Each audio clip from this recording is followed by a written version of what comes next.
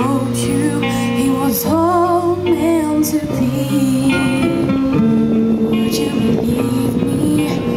Would you let me? But some of that feeling that we've met before. So tell me that you don't think I am crazy when I tell you love is come here and now.